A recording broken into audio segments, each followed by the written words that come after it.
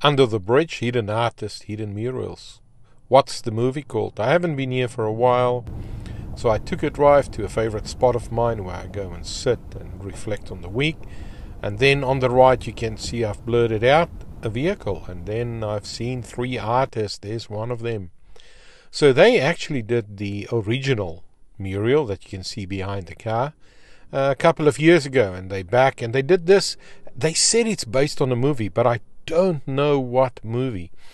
There are three distinctive uh, images in this, and there's one somebody with like a saber sword, then another person with a gun, and then I don't know if this is a camp or escaping or that tower or a house and birds flying, and there was some blood splattered as well. So I would like to know what's this movie called.